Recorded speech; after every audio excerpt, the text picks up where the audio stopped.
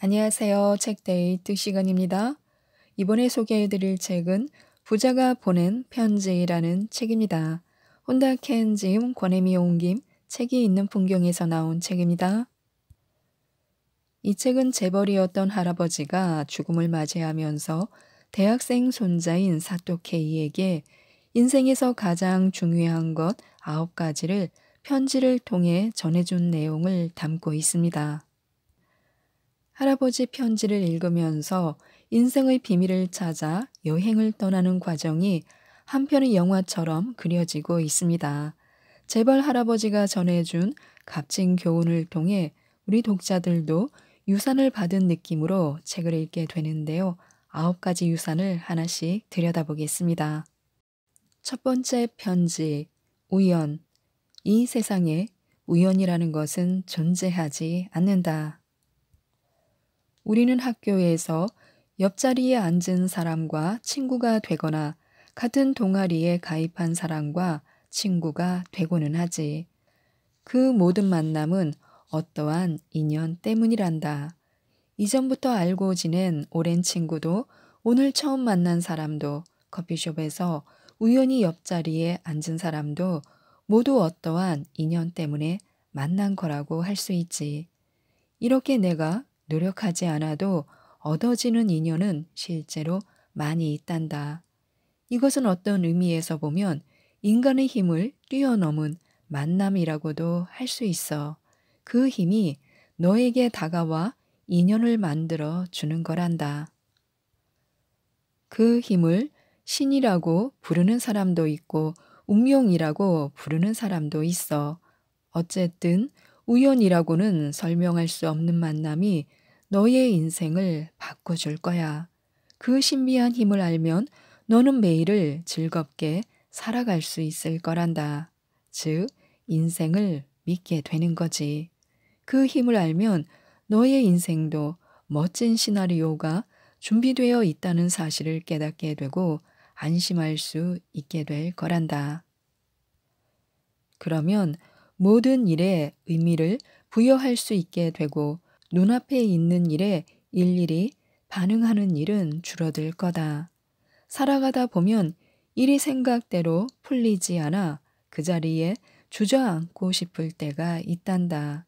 또한 최악이라고 생각되는 일이 나중에는 행운으로 바뀌기도 하지. 이렇듯 긴 시야로 내다보면 인생의 균형을 맞출 수 있게 된단다. 이 사실을 꼭 기억해 두었으면 한다. 인생에서 일어나는 모든 일에는 의미가 있다. 그리고 그 일은 나를 행복하게 해주기 위해 일어난다. 지금은 죽을 만큼 힘든 일이라도 그 일은 언젠가 너에게 기쁨을 안겨다 줄 거다. 그러면 무엇을 걱정할 필요가 있겠니? 이것은 너가 경험을 통해 깨달아야 해. 많은 일을 경험하다 보면 반드시 알수 있게 될 거다. 두 번째, 편지, 결단. 모든 일은 결단을 내린 순간 시작된다. 결단에는 재능도, 돈도, 시간도 전혀 필요 없단다. 믿지 못하겠지만 결단을 내린 순간 미래는 탄생한다. 결단을 내린 순간 현재와 미래가 접속하는 회로가 생긴다고 말할 수 있어. 그 미래는 시간이 지나면서 너가 있는 곳으로 다가올 거다. 반대로 결단을 내리지 못하면 너의 인생에는 그 어떤 일도 일어나지 않을 거야. 만약 그렇다면 인생은 딱 결단을 내린 만큼 재밌어지겠지. 그러니까 일, 사는 곳, 배우자라는 중요한 일부터 시작해 레스토랑의 메뉴나 휴가지처럼 지극히 평범한 일까지 적극적으로 결정하는 버릇을 들이기 바란다. 처음에는 단순히 호기심을 가지는 것만으로도 좋아. 무언가를 하자고 결심하는 것만으로도 미래의 문이 열리거든. 이 세상에는 너가 상상하는 것보다 훨씬 멋진 세계가 존재한단다. 결단은 새로운 미래를 만들어낸다. 이 말을 꼭 기억하길 바란다. 세 번째 편지 직감. 직감이란 이미 모든 것을 알고 있는 내면이 보내는 신호라고 생각해도 좋아. 내면은 모든 것을 알고 있기 때문에 너에게 꼭 필요한 신호만 보내는 거다. 즉, 내 몸과 내 마음은 나에게 가장 중요한 게 무엇인지 잘 알고 있단다. 따라서 직감을 무시하면 몸과 마음이 비명을 지를 거야. 싫어하는 일을 억지로 참으면서 하다 보면 결국 몸과 마음이 병들어 주저앉게 되지.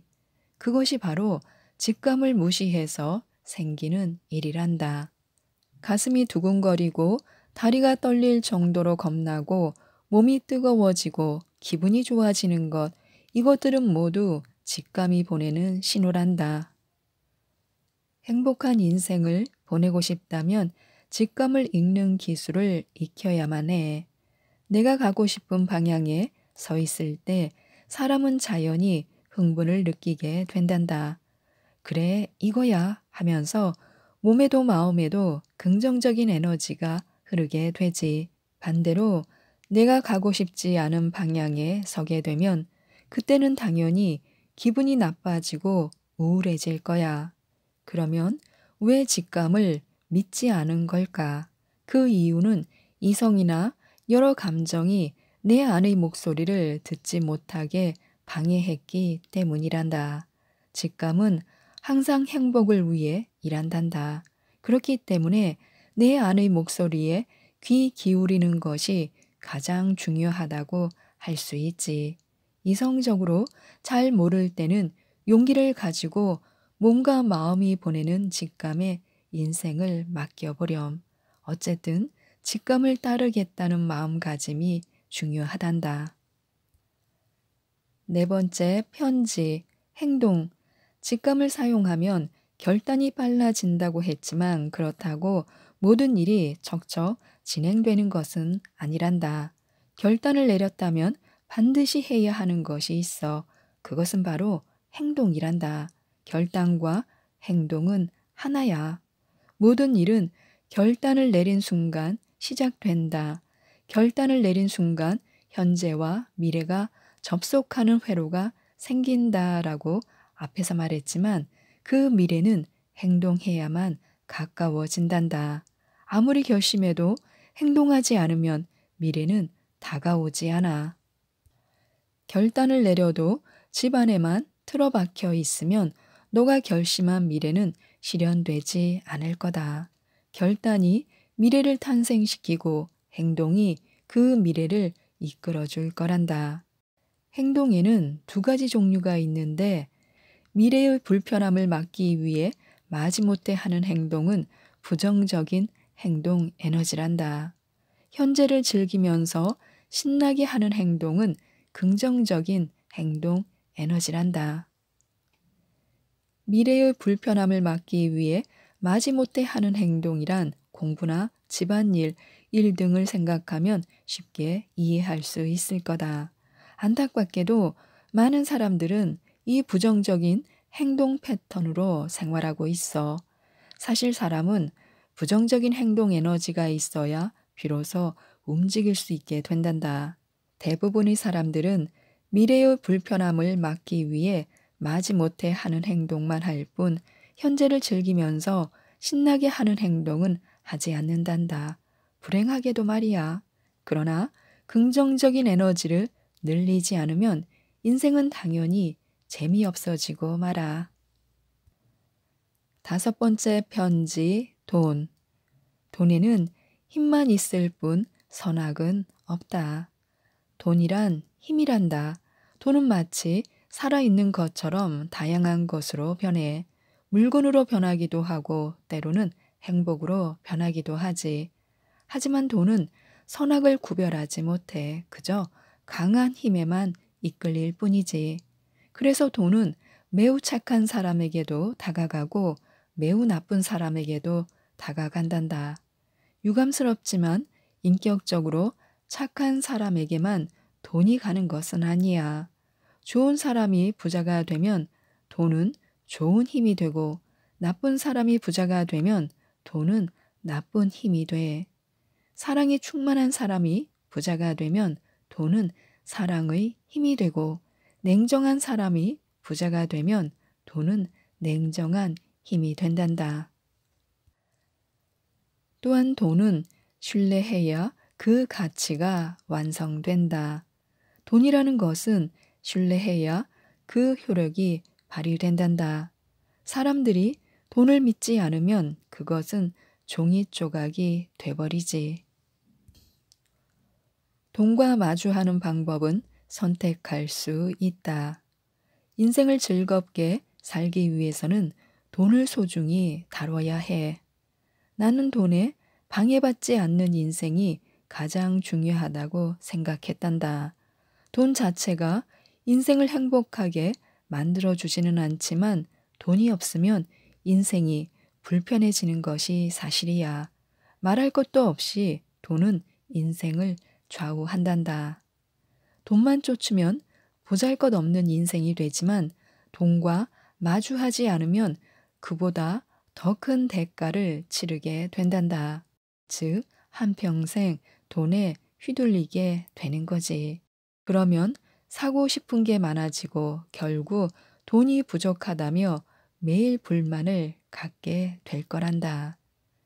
돈에서 자유로워지기 위해서는 돈과 행복은 관계없다라는 사실을 알아야 해. 그 사실을 알기 위해서도 돈과 제대로 마주해야 되는 거지. 그리고 누군가를 행복하게 해주는 것이 마음의 가장 좋은 양식이란다. 이 사실을 꼭 실감해야 해. 누군가를 행복하게 해줄 때마다 내 그릇이 커지고 돈에서 자유로워질 거야. 이렇듯 돈과 잘 사귄 후에 돈과 거리를 맞추는 것이 중요하단다.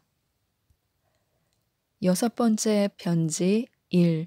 성공하는 사람은 모두 자신의 일을 매우 좋아한단다. 아니, 진심으로 일을 좋아하니까 성공했다고 말하는 게 올바른 순서일지도 모르겠구나.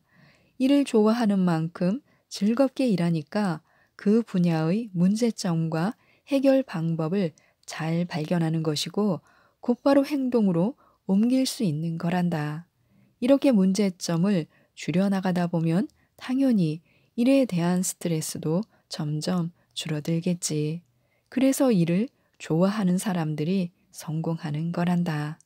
반대로 일을 싫어하는 사람은 인생의 의미를 찾지 못한 채 노동밖에 할 수 없단다.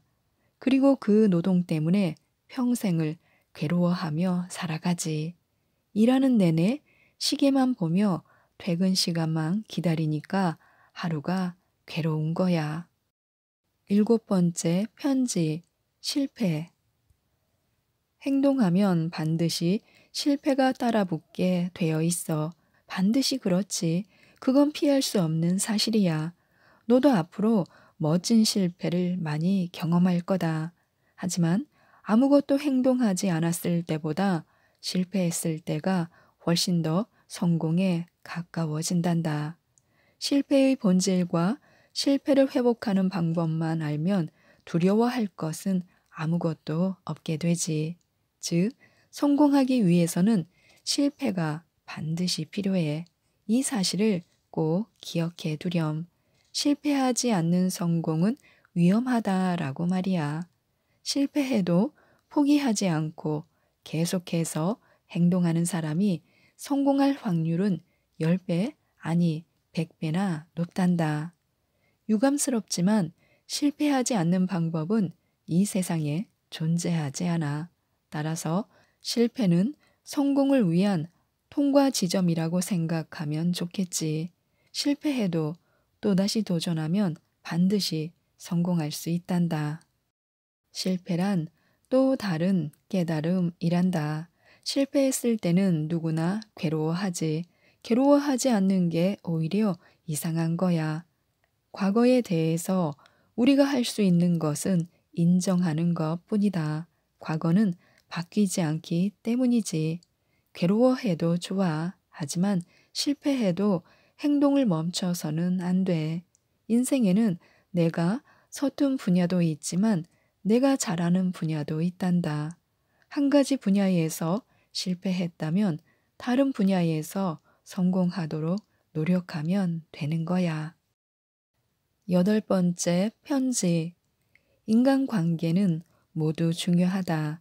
진짜 행복은 인간관계에서 얻을 수 있는 거란다. 아무리 돈이 많아도 아무리 권력이 높아도 사람은 행복해질 수 없어. 인간관계가 좋지 못하면 불행해질 수밖에 없지. 따라서 일로 성공하거나 부자가 되는 것만으로는 우리는 절대 행복해질 수 없단다. 이를테면 대저택에 살아도 가족도 친구도 없이 혼자 지낸다면 외롭기만 하겠지. 돈이 많지 않아도 화목한 가족과 절친한 친구가 있으면 행복해질 수 있단다. 돈 많은 부자보다 훨씬 행복할 수 있지. 풍요롭고 행복한 삶을 살기 위해서는 좋은 인간관계가 반드시 필요하단다. 좋은 인간관계에서는 좋은 에너지를 얻을 수 있고 삶의 의욕도 얻을 수 있어. 반대로 인간관계가 좋지 못하면 논바닥이 갈라지는 것처럼 모든 일이 몸이 건조해지지. 내가 부자가 된 후에 깨달은 사실이 하나 있다. 결국 사람은 돈과 사회적 지위만으로는 행복해질 수 없다는 사실이야. 왜냐하면 돈과 일로 얻는 기쁨은 일시적인 흥분밖에 되지 않기 때문이지. 즉, 그 기쁨은 영원히 지속되는 게 아니야. 누군가와 깊은 관계를 맺을 때 비로소 사람은 행복해진단다. 아홉 번째 편지, 운명. 인생에는 아무리 앞으로 나아가려고 해도 모든 것을 제자리로 되돌려 놓는 힘이 움직일 때가 있어. 또한 재난, 사고, 질병처럼 나와 직접적으로 관계없는 힘이 움직일 때도 있지. 그럴 때는 숙명과 운명의 갈림길, 즉 분기점에 있다고 생각하는 게 좋아. 숙명과 운명의 갈림길에 서 있을 때는 정신적으로 매우 지치게 될 거야. 어쩌면 자포자기하고 싶어질지도 모르지. 하지만 그럴 때일수록 포기하지 말고 새 출발을 해야 해. 우리는 매 순간 최고의 미래를 살아갈 선택을 할 수 있단다. 너는 꼭 스스로 운명을 개척하는 사람이 되었으면 하는구나. 만약 운명을 바꾸는 방법을 알고 싶다면 그때는 숙명과 운명이라는 시각으로 다른 사람을 관찰하면 좋을 거야. 그 시각을 통해 바뀌는 사람과 바뀌지 않는 사람의 차이를 발견하는 거지. 우리에게는 인생을 바꿀 선택지가 매일 주어진단다. 그러니까 너의 의사로 운명을 선택하길 바란다. 숙명의 힘에서 벗어나 너의 인생을 개척해 보렴. 매일을 즐겁게 살고 너의 꿈을 쫓으렴. 인생은 즐기기 위해 있는 거란다. 인생을 즐기기 위해서는 직감적으로 행동하고 인생이 주는 모든 것을 받아들여야 해. 그렇게 할 수 있다면 분명 재밌는 인생을 살 수 있을 거야. 지금까지 이 책에 대해서 말씀드렸는데요. 만약 현재의 생활이 너무 답답하다면 지금이 바로 움직일 타이밍일지도 모른다고 합니다. 이 책 부자가 보낸 편지를 꼭 한번 읽어보시고 멋진 인생을 설계하시고 만들어 가셨으면 좋겠습니다. 이상 책데이트였습니다. 감사합니다.